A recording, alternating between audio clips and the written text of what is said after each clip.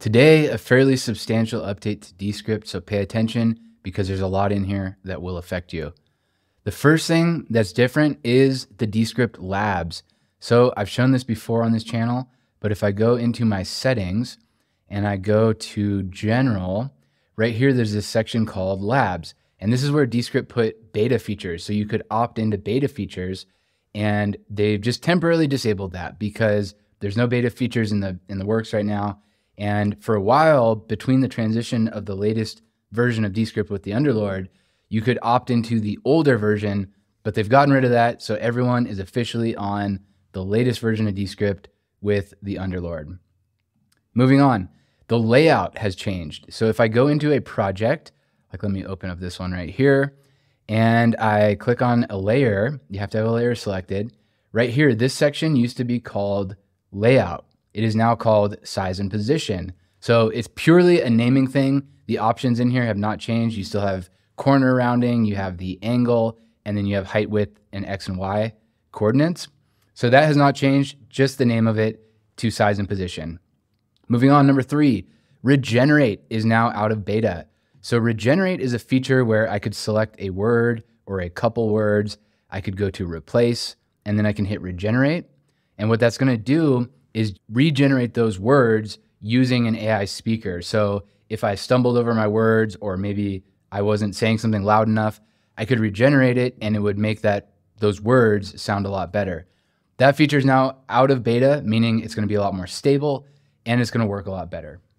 Moving on, the drive. So if I go back to my Descript drive and I come down to my workspace, when I'm in my project view, I don't have the option to do bulk actions. But if I come down to my workspace, I have these little check boxes next to the projects. I don't have those check boxes next to the folders, only the projects and only in the workspace view.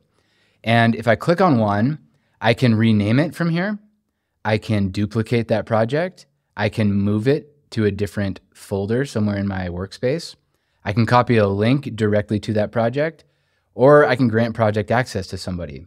So that's with just one selected. If I select multiple, like I select two or three, first of all, you can see it's highlighted in blue, the ones I have selected. And then the only thing I can do in bulk is move. I can move multiple projects at once into another folder. They're, they say that they're working on the ability to bulk delete and bulk do other options, but we're not there yet.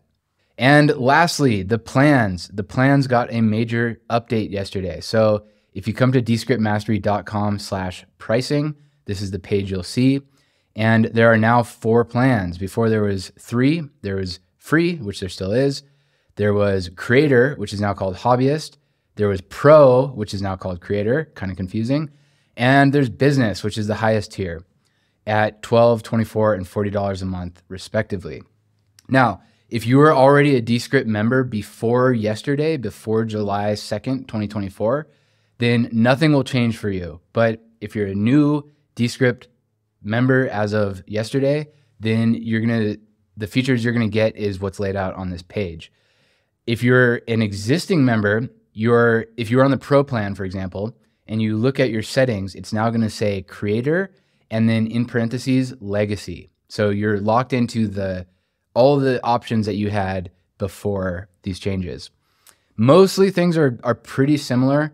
Like on this plan, which was the creator plan, now the hobbyist, you get 10 hours transcription per month, 30 on the mid tier, and 40 on the business.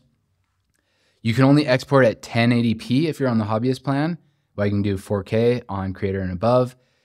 And here's the big one you're limited now to 20 uses of AI, including the filler word removal, studio sound, etc. With the creator and above, you get unlimited uses. Until now, Descript has been extremely generous with unlimited uses of all of their AI products, all of their AI features. And then you're also limited to 30 minutes per month of AI speech. So that is creating text to speech from your voice. And then you get 120 on the creator and 300 on the business.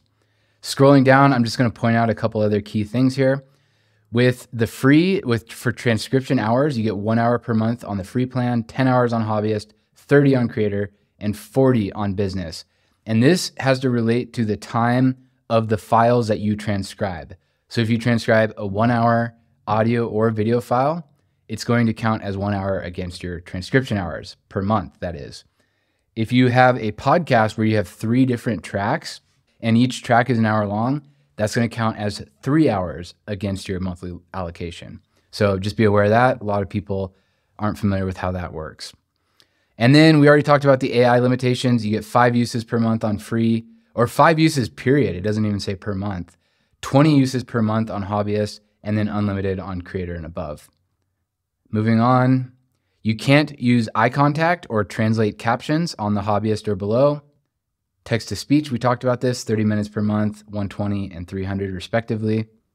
Recording hours, this has to do with Squadcast. So you can do two, 10 hours of recording per month on hobbyist, 30 hours per month on creator, and 40 hours per month on business. Templates, you cannot use templates if you're on the free plan. So be aware of that. I have free templates available on my website, and people sometimes try to download those when they're on the free plan. So be aware of that. With stock media, you're limited to the first five search results and first 12 search results on free and hobbyist, respectively, whereas you get unlimited. So, this is the videos, the sound, all that kind of stuff. You get unlimited with creator and business. Watermark free export, only one per month on free, unlimited on everything else. You're limited to 720p on free, 1080p on hobbyist, and then 4K on the other two. And then this next one is huge for me. So you get five gigabytes of storage on free, 100 gigabytes on hobbyist, one terabyte on creator, and five terabytes on business. I think if you're going to upgrade to business, it's probably going to be for this reason. You're probably going to be creating a ton of content and you're going to need that massive, massive amount of cloud storage.